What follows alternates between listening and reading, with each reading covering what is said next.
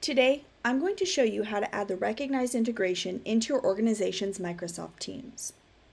You'll want to start by selecting the Apps option from your personal bar on the left.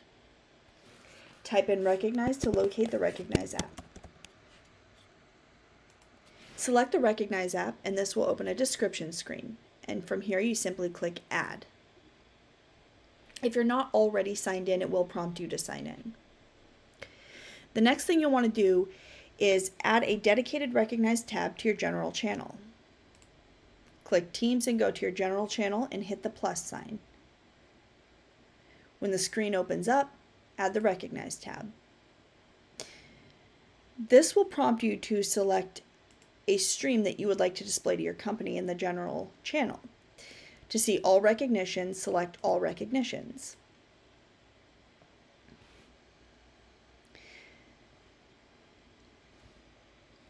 From here you can see your stream that will show you recognitions, birthdays, and anniversaries. To use Recognize outside of the general channel to send recognitions or redeem rewards, you'll want to add Recognize to your personal view. On the left personal bar, click the three dots for more options and select Recognize.